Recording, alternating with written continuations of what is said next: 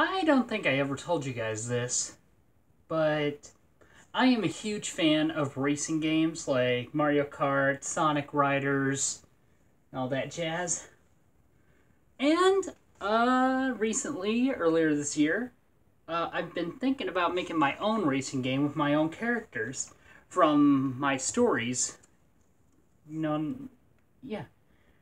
And uh, I've talked about my characters a lot on this channel, and some of them I already have some uh, good ideas for new outfits for them. Like I like how in Sonic Riders how they gave them different outfits somehow, or like you know goggles or something.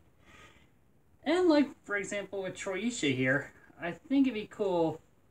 I mean, I think she looks perfect just the way she is for a racing game, but maybe maybe the only change she needs and reason I'm asking you guys is because well, somebody once told me a wise man seeks second opinions.